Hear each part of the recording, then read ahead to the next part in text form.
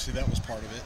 Um, you know, but I just thought we didn't do the things we did for three quarters. We didn't do our assignments. We didn't play with emotion. We didn't, you know, finish a team off. We kind of let them back into it and didn't do the things that got us, you know, the lead in those three quarters. You know, and I, I think that's probably as simple as you can, you know, say. I think we just made too many mistakes offensively.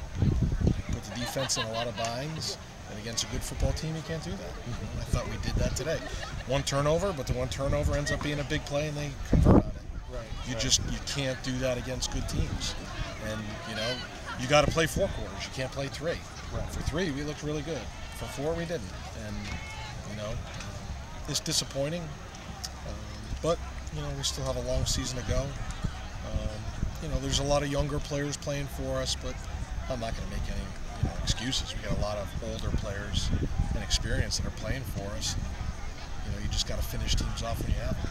We did not do that today. Yeah.